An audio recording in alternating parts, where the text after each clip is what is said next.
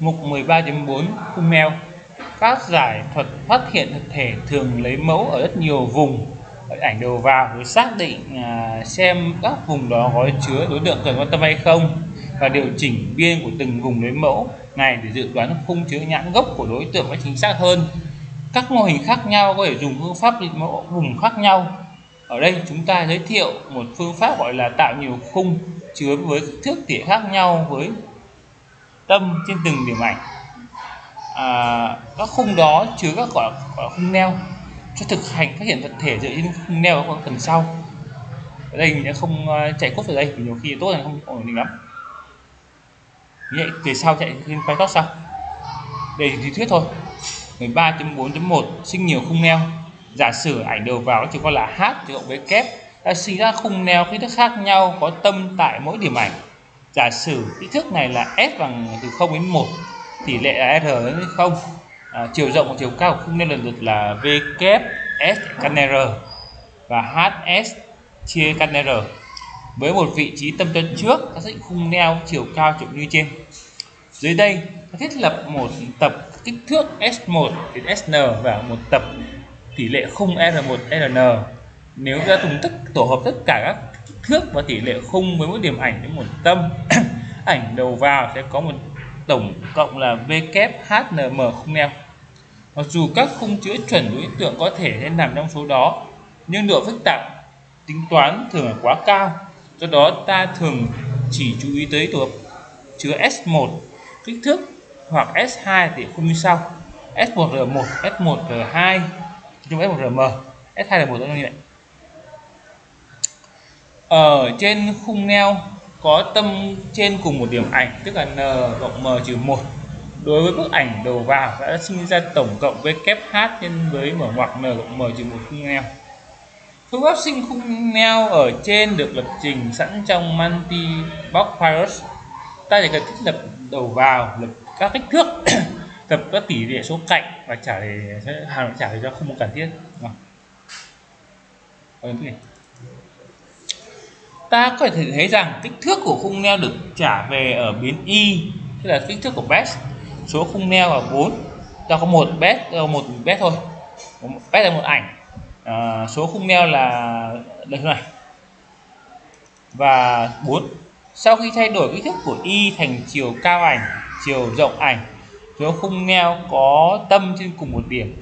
4 ta thu được tất cả khung neo ở tâm một vị trí ảnh nhất định trong phóng sự đây. Suất khung neo đầu tiên có tâm tại vị trí 250 nó có bốn phần tử, tọa độ x, y ở góc trên phải, bên trái, x, y ở góc dưới phải. Tọa độ x các độ trục x, y được lần lượt chia chiều rộng, chiều cao của ảnh. Do của chúng lại làm nó khoảng từ 0 đến 1 không. Rồi. Đây. Vậy để mô tả tất cả khung neo có tâm trên cùng một điểm bức ảnh. Trước hết ta định nghĩa hàm sâu với bốc bóc này. Như ta vừa thấy các giá trị tọa độ ở x và y trong biến box đã lần lượt chia cho các chiều rộng và chiều cao của ảnh. Khi vẽ ảnh ta cần khôi phục giá trị tọa độ gốc của các khung neo và xác định biến uh, b-box scale lúc này ta có thể vẽ tất cả các khung neo tại tâm có vị trí 250 20 ta có như là hình dương ạ. Bao hình chó luôn. đây hình xanh này bao hết con chó rồi? Ta thấy giao trên hợp à, mục 13.4.2 chúng ta mới chỉ đề cập rằng khung neo đó bao quanh tốt chú chó trong ảnh. Nếu ta biết khung chứa nhãn gốc của đối tượng làm thế nào để định lượng được mức độ tốt ở đây? Một phương pháp đơn giản là đo điểm tương đồng giữa các khung neo và khung chứa nhãn gốc. À, ta biết rằng hệ số Jacques có thể đo lường sự tương đồng hai dữ liệu. Cho hai tập A và B chỉ số Jacques là của chúng là kích thước của phần giao trên kích thước phần hợp. Trong thực tế chúng ta phải coi vùng điểm ảnh trong khung làm tập hợp các điểm ảnh. Theo cách này ta thể đo lường tính tương đồng giữa hai khung bằng chứa bằng hệ số Jascat của các tập ảnh tương ứng. Khi đo sự tương đồng giữa hai khung chứa hệ số Jascat thường gọi là giao trên hợp. Insert insert intersection over unit IOU Đấy, nghe vào hay IOU tức là tỷ lệ giữa vùng giao thoa nhau và vùng kết hợp của hai khung chứa ảnh. Miền giá trị của IOU nằm trong khoảng từ 0 đến 1 giá trị không có nghĩa là không có điểm ảnh nào giao nhau, hai khung chứa khi đó giá trị 1 chỉ rằng hai khung chứa hoàn toàn trùng nhau. Trong phần còn lại ta sử dụng IOU để đo lường, tương đồng giữa khung neo với khung chứa nhãn gốc và giữa các khung neo với nhau.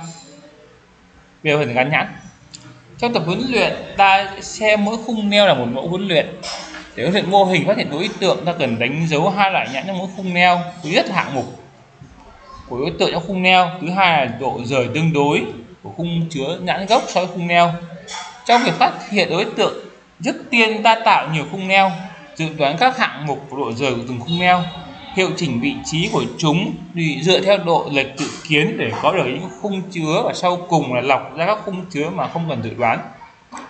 Chúng ta biết rằng trong tập huấn luyện phát hiện đối tượng, mỗi hình ảnh được gắn nhãn tới vị trí của khung chứa nhãn gốc hạng mục của đối tượng ta gắn nhãn cho các khung neo sau khi tạo chủ yếu tựa vào thông tin vị trí và hạng mục các khung chứa nhãn gốc tương ứng với các khung neo đó.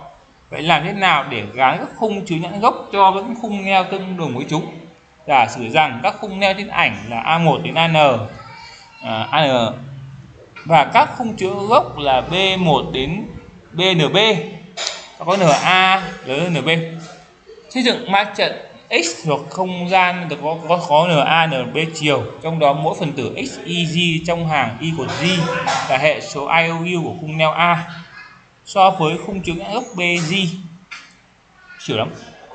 Đầu tiên ta tìm phần tử lớn nhất trong ma trận x để lưu lại chỉ hàng và cột của phần tử đó y1 Y1 rồi gắn khung chứa gốc BG cho khung neo AI 1 rõ ràng, khung neo AI1 là khung chứa nhãn gốc bz BG1 à, có độ tương đồng nhất trong tất cả các khung neo.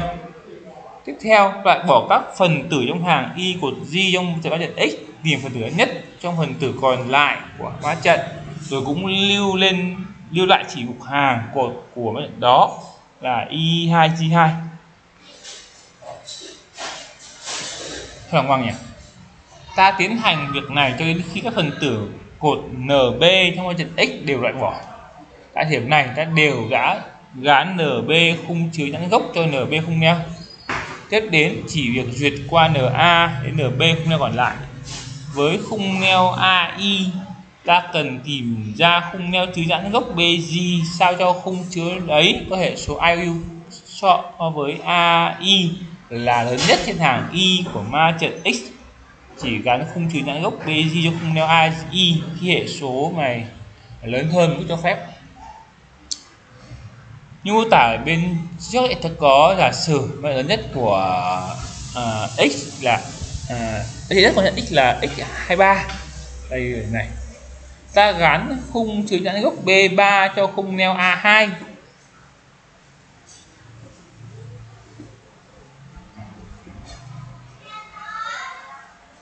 tiếp đó ta loại bỏ tất cả các trị ở hàng 2 cột 3 trận. Tìm được mắt thần tử lớn nhất của x1771 trong phần ma trận còn lại. X71 đây này. X71 ta bỏ thằng này đi. X71 đúng không? Có cái 71 này. X71 thì ta sẽ uh,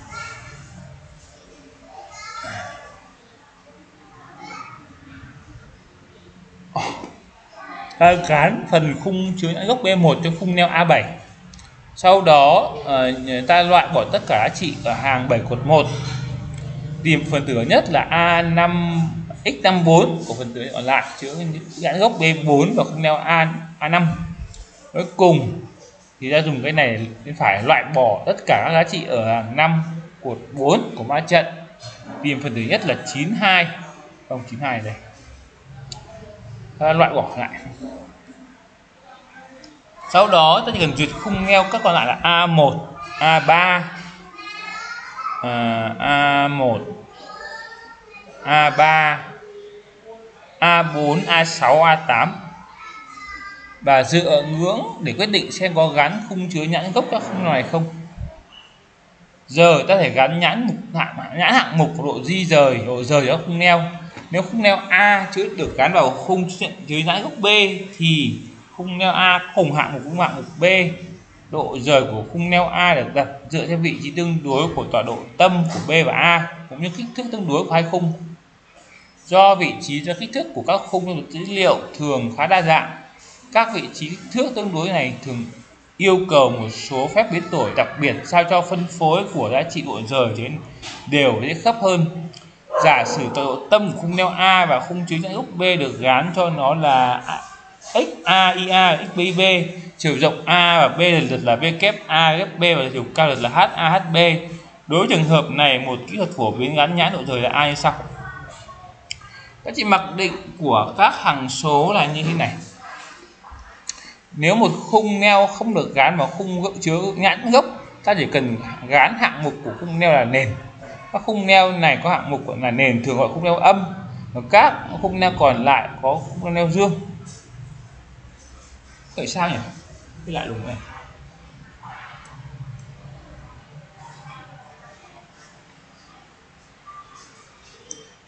Cái này hơi lạ vì là cái khung này hoàn toàn, ngay hoàn toàn là nó bằng tay nhé.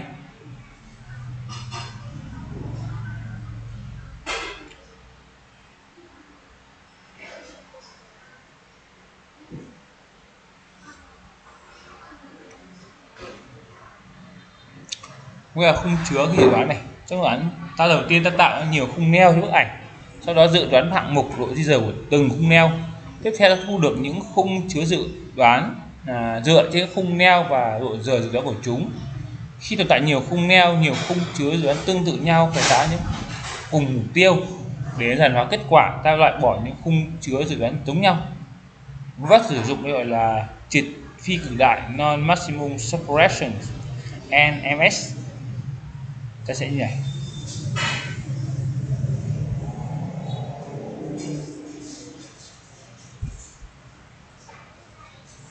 cái này nó hơi không rõ ràng lắm. Tóm tắt, chúng ta tạo nhiều khung neo với kích thước và thể khác nhau bao quanh từng điểm ảnh. IOU gọi là hệ số Jacquard đo lường độ tương đồng giữa hai khung chứa. Đó tỷ lệ của phần giao trên phần hợp hai khung chứa trong tập huấn luyện ta đánh dấu hai loại nhãn trong các khung neo, hạng mục của đối tượng trong khung neo và độ rời của khung chữ chuẩn so với khung neo. Khi dự đoán, ta có thể tính dùng triệt phi cực đại để NMS để loại bỏ các khung chứa dự đoán tương tự nhau, từ đó đơn giản hóa kết quả.